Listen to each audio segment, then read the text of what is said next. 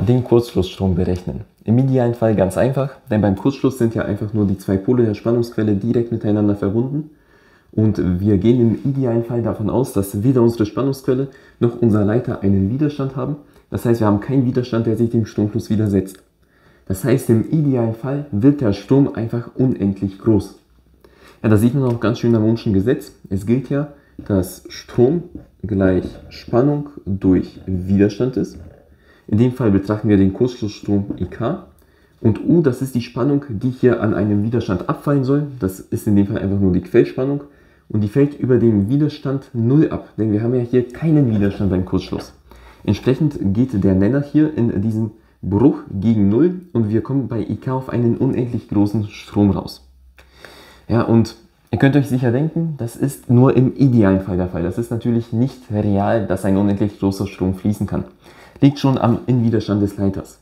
Aber was wir hier im Genauen betrachten, ist der Innenwiderstand unserer Spannungsquelle. Denn jedes elektrische Bauteil hat einen eigenen Widerstand, so auch unsere Spannungsquelle. Und bei der realen Spannungsquelle zeichnet man diesen Innenwiderstand in Reihe geschaltet zur Spannungsquelle ein. Es wäre einfach unübersichtlich, den hier noch irgendwie mit im Schaltsymbol einzuzeichnen. Deswegen hat man sich halt einfach dafür entschieden, dass man diesen Innenwiderstand in Reihe dazu schaltet. Das ist unser RI. Und um hier ein konkretes Beispiel zu geben, gehen wir einfach mal davon aus, der Innenwiderstand einer Spannungsquelle befindet sich meistens im Milliohm-Bereich, dass äh, RI einfach gleich 5 Milliohm ist. Und jetzt können wir, wenn wir den Wert unserer Spannungsquelle kennen, ja, haben hier 12 Volt, können wir einfach den Strom berechnen. Denn jetzt fällt die gesamte Spannung nur über den Innenwiderstand ab, also über RI. Und hier ist der Kurzschlussstrom trotzdem gefährlich hoch.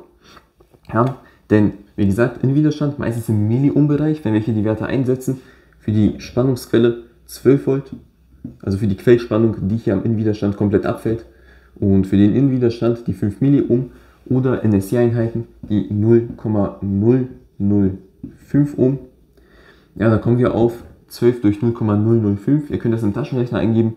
Ja, da kommen wir auf 2400 Ampere, die hier durch den Stromkreis fließen. Also ihr merkt, der Kurzschlussstrom zwar nicht unendlich groß, aber wirklich sehr, sehr groß. Auch im realen Fall, wenn wir uns den anschauen.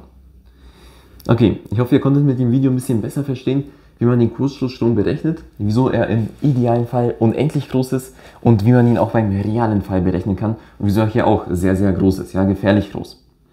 Wenn ihr dazu noch Fragen habt, könnt ihr sie mir gerne in die Kommentare stellen.